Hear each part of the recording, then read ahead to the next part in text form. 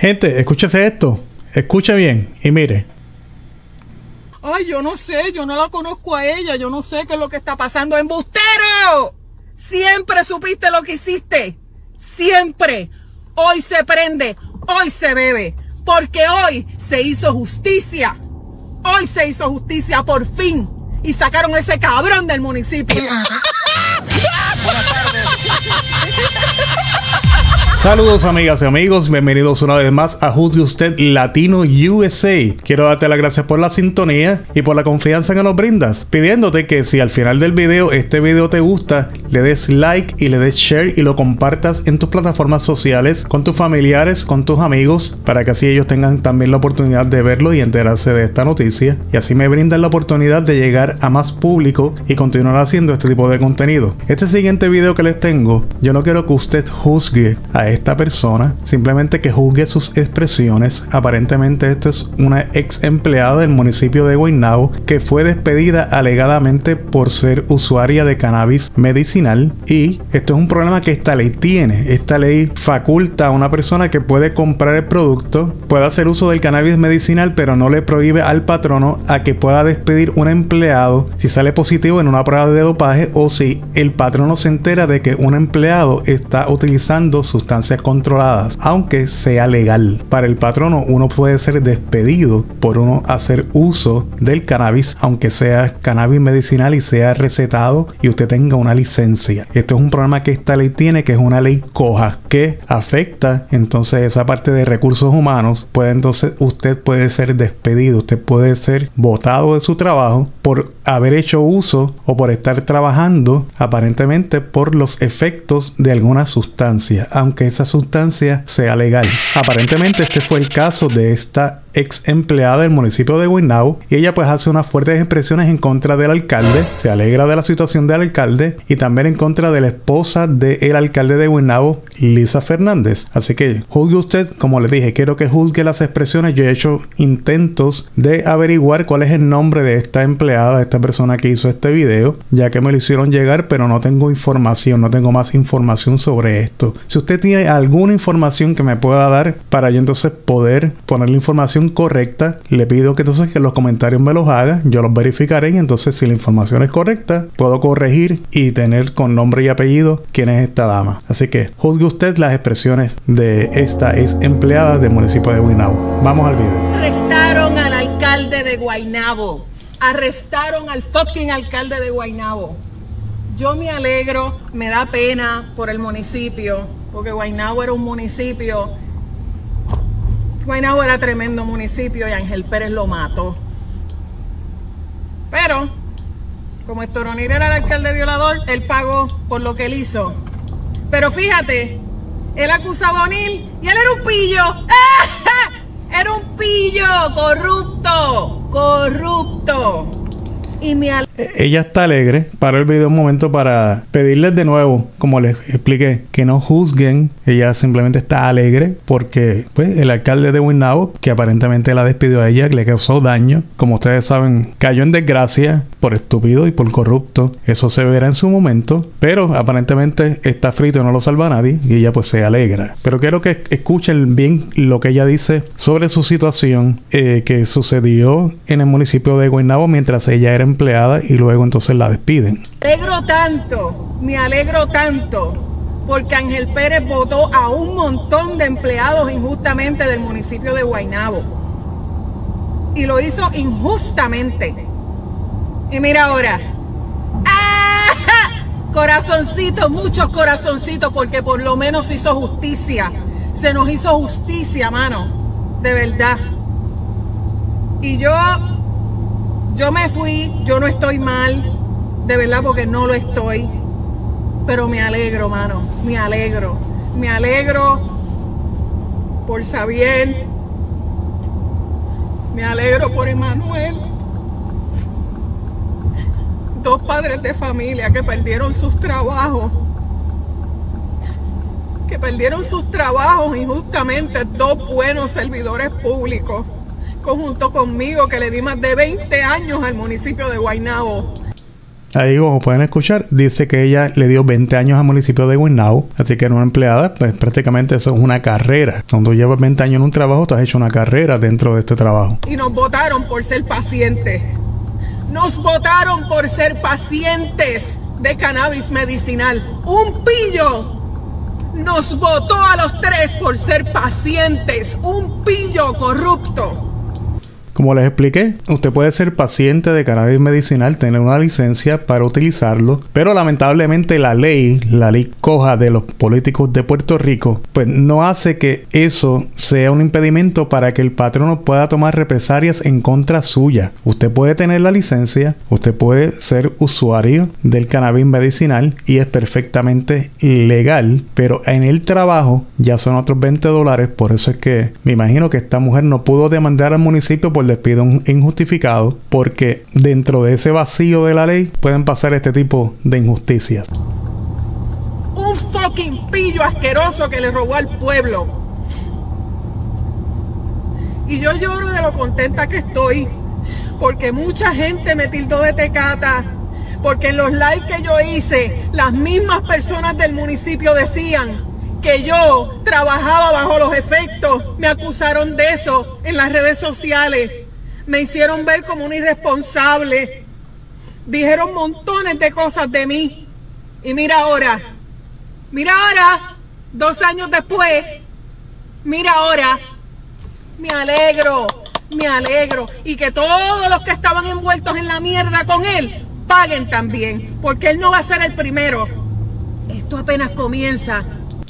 Este dice que apenas comienza porque se sabe que va a haber más arrestos. Ella se alegra y que caigan todo lo que tenga que caer. Yo estoy de acuerdo con ella. Esto está empezando ahora. Él no va a ser el único que va a caer en el bote. Mira, le hicieron tu, tu, tu. Open the door. This is FBI, motherfucker. A mí lo que me da, me da gracia es la alegría que ella tiene, tiene una contentura. Es como ver un perro con dos rabos, metiendo dos rabos. Pues más o menos esa es la contentura que ella tiene. Dicen que uno verá a sus enemigos pasar a su frente. Y pues este es el caso de ella. Y obtuvo su venganza divina. O lo que llaman el karma. Cuando uno tiene calma, llega el calma. Cuando uno tiene calma, llega el karma. Ahora sí.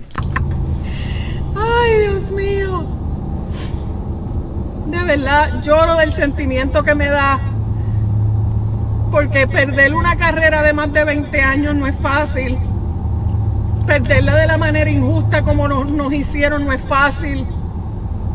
Cogieron a dos muchachos que eran excelentes paramédicos y los botaron como bolsa por ser pacientes de cannabis medicinal. Un pillo, un fucking pillo. Nos dejó sin trabajo, nos jodió las carreras. Un pillo fucking pillo. Y yo quiero ver ahora todos los lambones que estaban detrás de él, la directora del departamento, que me mandaba a callar y me decía, del séptimo piso me están diciendo que por favor no publiquen las cosas que publica, porque yo denunciaba las porquerías que nos estaban haciendo de emergencias médicas. Recuerde también que lo que usted publica, lo que usted publica en sus redes sociales, obviamente es público. Y si usted tiene un compañero de trabajo, una compañera de trabajo, esto se presta para que lo que usted publique en su trabajo, pues sea utilizado en su contra y usted puede ser despedido por alguna publicación que usted haga. Usted tiene que protegerse. Si usted quiere mantener una vida privada, no se ponga a estar dándole solicitudes de amistad a compañeros de trabajo o tenga una cuenta aparte para eso, pero no se ponga a estar publicando cosas. Si usted trabaja en una empresa privada o una empresa gubernamental, no se ponga a hacer expresiones en contra de su patrono, en contra de su empresa, en las redes sociales. Hágalo en los foros correspondientes legales. Eso no significa que usted va a ganar, porque la van a coger contra usted. Usted sabe cómo funciona el gobierno, cómo funciona la corrupción gubernamental y corrupción municipal. Le van a hacer la vida de cuadritos. Pero si usted tiene evidencia de algo que sea federal, aquí la justicia es para el pobre. En Puerto Rico la justicia, el Departamento de Justicia mete presos a la gente pobre. A los ricos no. Los ricos tienen que venir los federales a tocarle la puerta. Lamentablemente el sistema funciona así. Pero si usted tiene evidencia de algo federal, vaya a los federales. Si usted está a punto de retirarse, pues mire, a veces usted tiene que pensar en su familia y aunque suene cruel, hace el buche tiempo. Porque cuando se denuncian las cosas, muchas veces las represalias son tantas que por eso es que mucha gente no actúa y no habla porque no tenemos un buen sistema de justicia. Pero eso es parte de la corrupción. Y usted cada vez que usted deposita su votito en la urna, usted es cómplice sin saberlo. Vamos a seguir con el video, porque también me da rabia. Ya mismo voy a poner a llorar yo aquí también. Y me mandaron a callar. Me alegro, me alegro. Y yo espero que todos, todos y cada uno que se prestaron para eso caigan. Todos. Que se jodan, que paguen. Que paguen todos. Todos los que nos dejaron sin trabajo. Y no a nosotros tres nada más a todos los empleados del municipio que esa administración votó injustamente, que paguen, que paguen.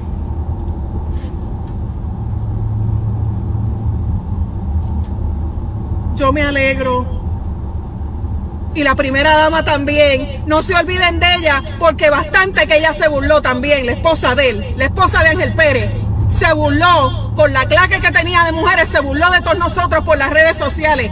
Quiero hacer la pausa porque ella va a mencionar algunas palabras que son soeces y son fuertes dentro del coraje que ella tiene. Así que les pido discreción con los niños. O si usted es muy sensible a las palabras, pues entonces hay otros canales de YouTube que usted puede ver. Pero voy a dejarlo tal cual, aunque pude haberlo editado en crudo. Así que lo voy a pasar, lo voy a hacer exactamente como ella lo dijo. Y obviamente son sus expresiones. Yo no me solidarizo con sus expresiones. Pero las voy a pasar tal cual.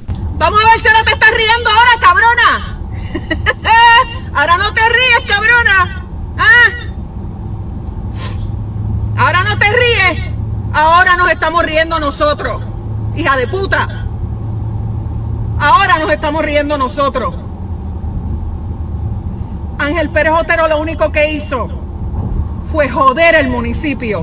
Más de lo que ya estaba, lo acabó de joder. El supuesto cristiano se hacía el más cristiano, el hombre de Dios Míralo ahí, robándole al pueblo, robándole los chavos a la gente, a la gente que votó por él. Le robó los chavos. Lo voy a detener porque sí, son, es su dinero. Cuando usted paga CRIM, cuando usted paga las contribuciones, parte de eso va hacia los municipios, hacia los servicios que el municipio da. Y uno de ellos es el recogido de basura. Y este hombre se estaba apropiando de lo que se le estaba facturando al municipio por el recogido de basura para una partecita de eso, embolsillársela a él y favorecer a los amigos del alma. Vamos a seguir. Ahí tienen. Ahí tienen a su alcalde. Saludos a todos los lambones que hablaron de nosotros y que lo defendieron hasta más no poder. Ahí tienen al alcalde que escogieron. Ahí tienen. Ahí lo tienen. Un pillo, un corrupto. Y él no es el único. Él no es el único. Son más que van a caer.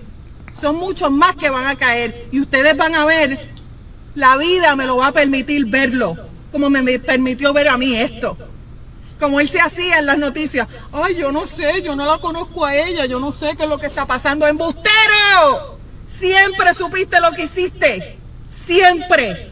Hoy se prende, hoy se bebe. Porque hoy se hizo justicia. Hoy se hizo justicia por fin. Y sacaron ese cabrón del municipio. Bueno, ahí lo tienen. Fueron las expresiones de esta, de esta empleada molesta, molesta por su despido, por la injusticia. Esto pasa en todos los municipios de Puerto Rico. No el caso del, del cannabis medicinal, pero sí pasan despidos injustificados, despidos políticos de gente que era del otro partido y está trabajando en el municipio le empiezan a hacer la vida de cuadritos o para que renuncie o para que entre en depresión o buscarle cualquier falta, cualquier fallo, empezarle a hacer expedientes para despedirlos por causas políticas. Y por eso es que mucha gente se queja del servicio en el gobierno porque a veces tienen empleados que no están motivados por diferentes causas o empleados que no sirven.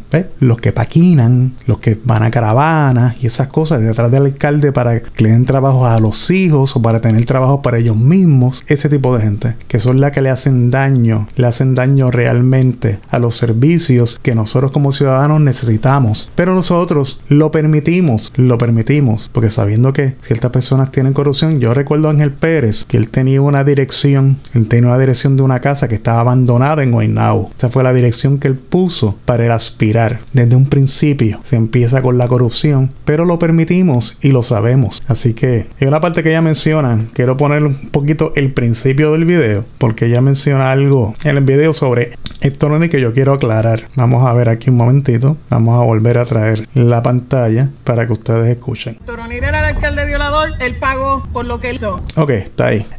No pagó por lo que él hizo. Toronil no ha pagado por lo que él hizo. Realmente Toronil tuvo suerte. Primero de tener una buena defensa y segundo de que la víctima se agotó, se cansó, no ha pagado por lo que él hizo. A ver si entonces ella obtiene un poco de paz y sosiego, que es lo que todos necesitamos. Si te ha gustado este video, te pido, compártelo, mira, comparte el video, así me ayudas a que este contenido llegue a más personas como tú.